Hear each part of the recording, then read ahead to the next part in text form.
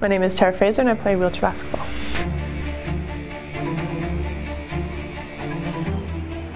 I played stand-up basketball for 10 years, but there was never the um, tactical part of the sport that you had to constantly use the rest of your teammates. You can never really play one-on-one -on -one for the entire game. It just, you need your five players on that court in order to get up and down the court.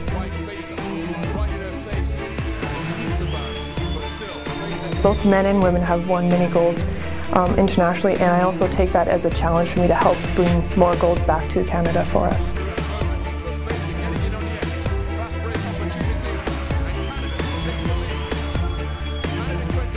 To represent my country is something I've always wanted to do and every time I put on the jersey I get that tingly feeling knowing that um, I have been selected out of many, many people to represent the country, not only in basketball but as an ambassador for our country in leadership and in everything. So it's just a pride that I have.